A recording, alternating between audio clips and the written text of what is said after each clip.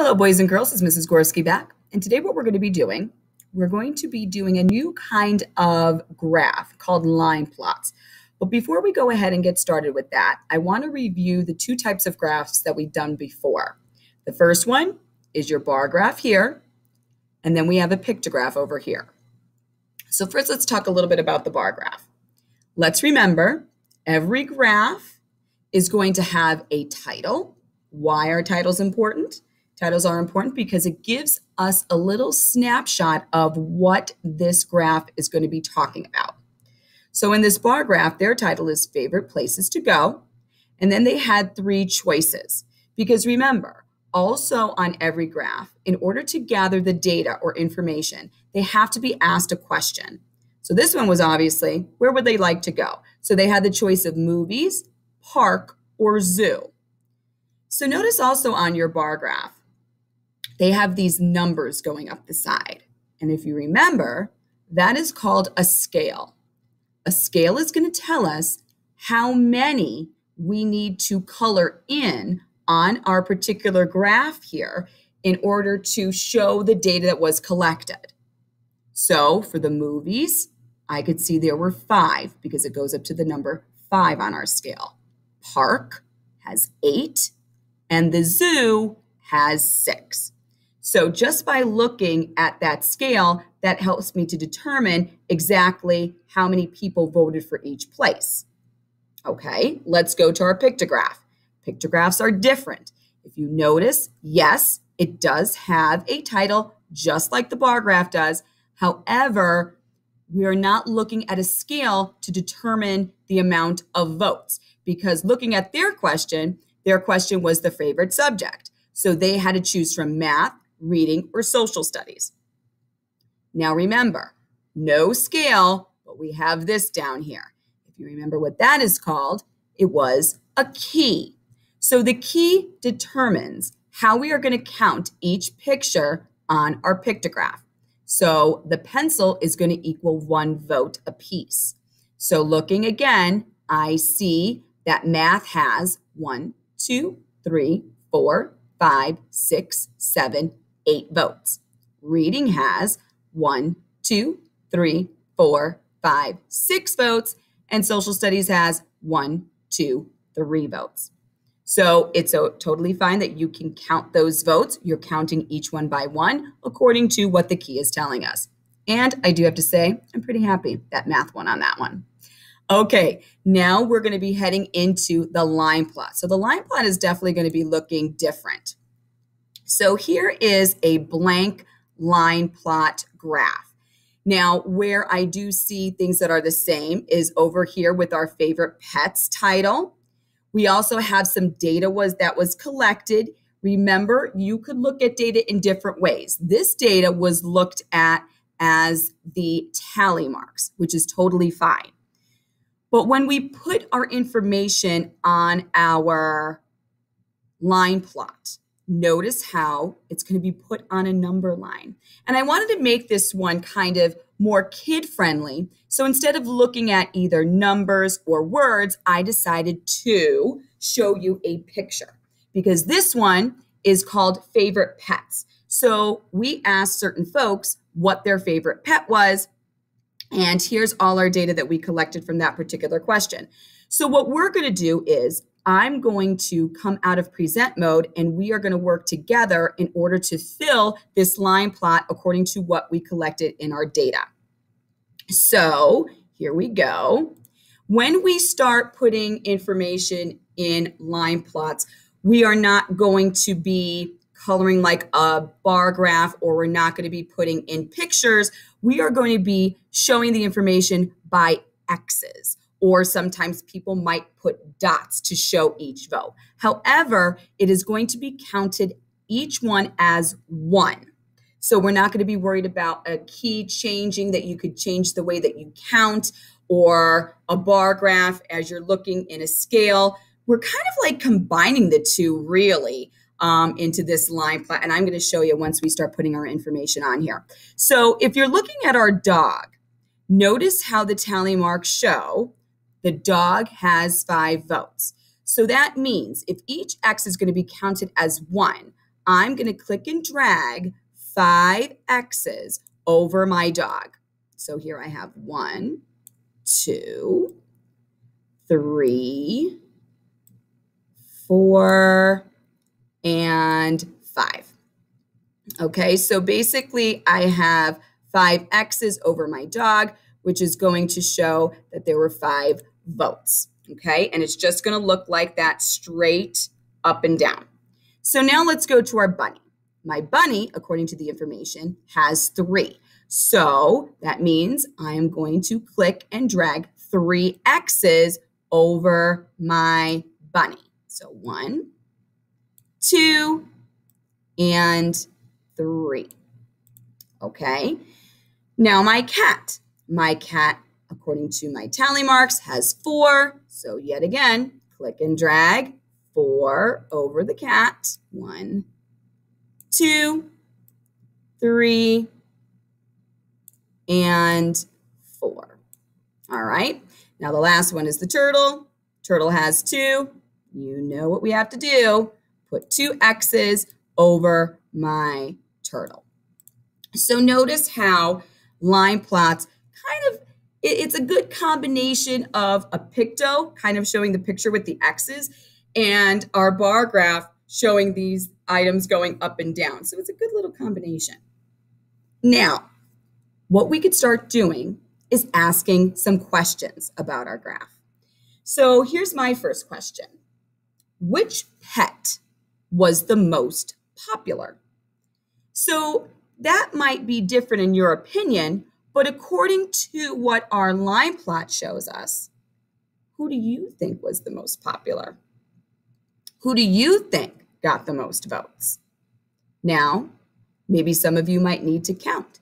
Maybe some of you might just be looking with your eyes and you could definitely see the dog was the most popular. Why? Because he has five votes. You also, you could also see it because it has like that highest number of X's on that line plot. All right, new question. Which pet has the least votes? Well, judging by what you see on this line plot, what one do you think has the least?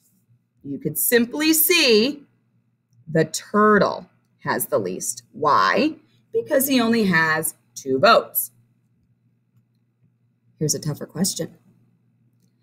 Which two pets, when you combine them together, would equal five votes?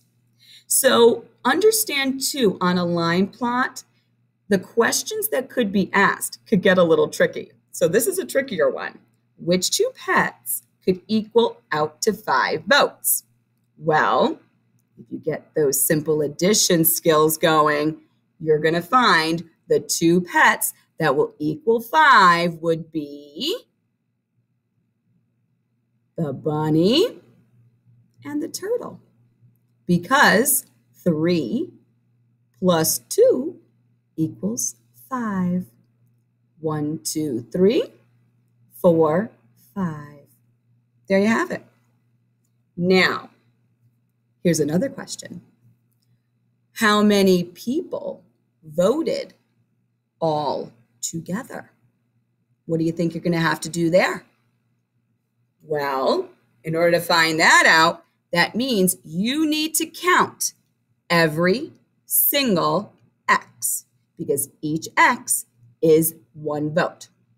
So let's go ahead and count them.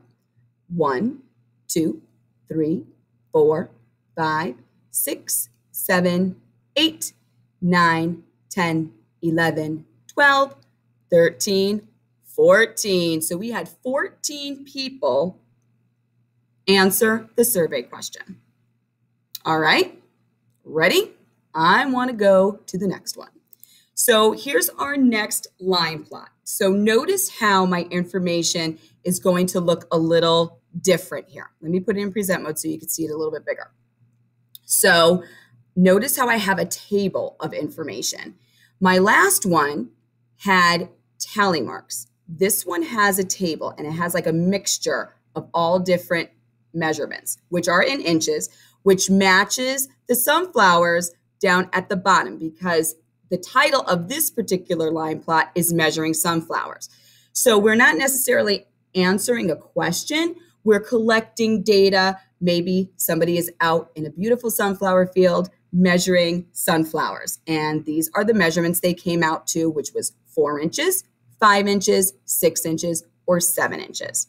So, what we're going to do, we are going to exit out and we're going to start putting in the data according to what we see here on the table.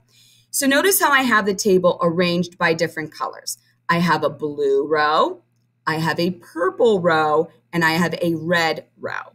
So, I want to keep it organized. We're going to start with the blue row here. So, what I'm going to do, I'm going to start with four inches. I'm going to click and drag on an X and put it over my four just like this. Now, the next one was five inches. So I'm not going to put it over my four because it's talking about the five inch mark. So here I go. Now the next one is seven. And the last one is going to be five. Again. So let's now go to the purple row. I'm going to start with a 7 inch. Then I'm going to go back to 4.